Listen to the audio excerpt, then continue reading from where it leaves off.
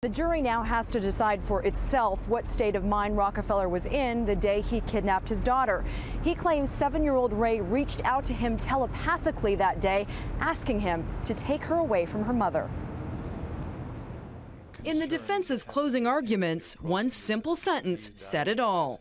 This is not a man playing with a whole deck. Attorneys told the jury Clark Rockefeller suffers from delusions and wasn't in his right mind when he kidnapped his daughter last July.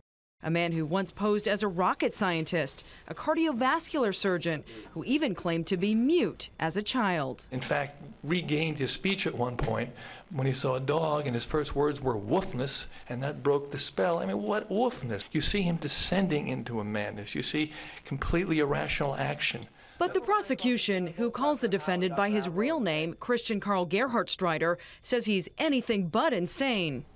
Don't let him get away with that.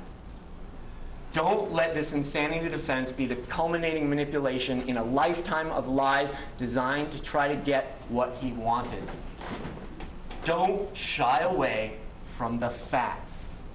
See the truth before you. Hold the defendant criminally responsible for his actions.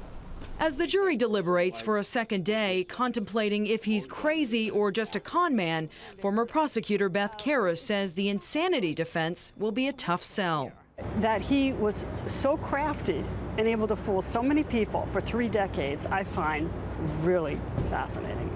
And Rockefeller now faces up to 10 years in prison for his charges. And Robin and Chris, what will he call himself if he does go to prison? I asked the lead defense attorney, who does he think he is these days? He said he still believes he is Clark Rockefeller. Andrea, thank you so much. That tells you something right there. Yes, it does.